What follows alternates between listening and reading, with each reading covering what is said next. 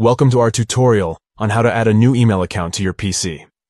Whether you're setting up a personal or work email, this step-by-step guide will walk you through the process. Let's get started. Hello there. Are you looking to add a new email account to your PC? We've got you covered. Follow these simple steps to get your email up and running in no time. Step 1. Press the Start button located on the bottom left corner of your screen. Step 2. Open Settings by clicking on the gear icon in the Start menu. Step 3. In the Settings window, click on the Accounts option. Step 4. From the left-hand side menu, click on Email and Accounts. Step 5. On the right-hand side, click the Add an Account button.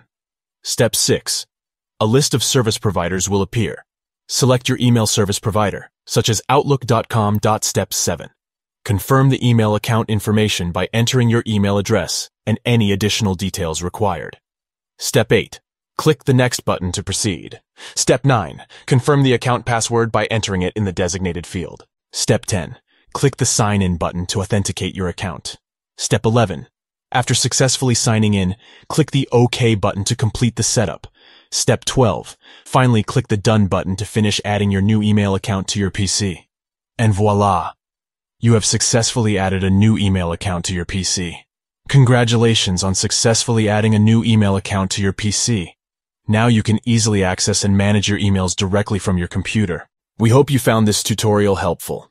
If you did, please give this video a thumbs up and consider subscribing to our channel for more helpful PC tips and tutorials. Thank you for watching and enjoy staying connected with your new email account on your PC.